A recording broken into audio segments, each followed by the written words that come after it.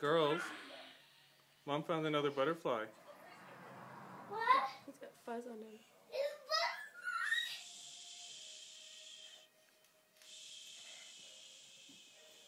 It's He's got all this hair and fuzzies stuck to his wing. I think if he gets a good flap on, he'll still come up. The undersides of his wings are so like plain colored though, aren't they? Is that peacock? Well, when his wings are up, he can hide better. Yeah. Yeah, I think so. But he doesn't have this. He doesn't have the circles on the bottom of his wings, so he might not be a peacock butterfly. Oh yeah? Isn't he pretty? Mommy.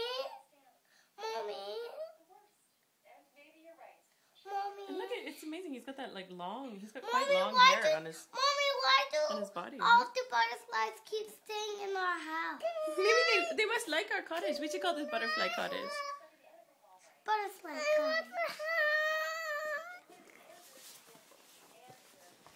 See his eyes? Show me it. Show me it. Don't pull, don't pull, don't, pull. Grace. Mommy, show me it. Mommy, mommy, give it to me and show me it.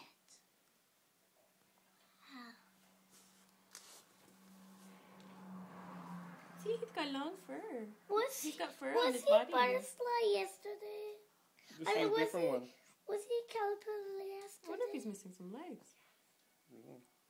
Last night, a repulsive act occurred at a hotel in Midtown. There are two possible explanations as to how this event Why did caterpillars turn to butterflies? Because that's what that's what God that's what God decided would happen. I went to a discotheque and a handsome, interesting man fell for me. In the wake of my breakup, I allowed myself to have an. All the So animals bye-bye, butterfly. have bones. Bye, butterfly.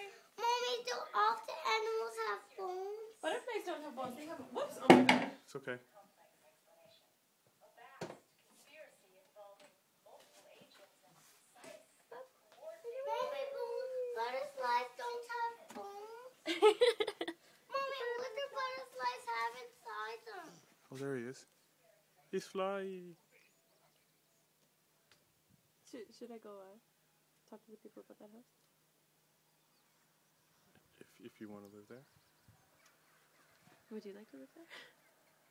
No.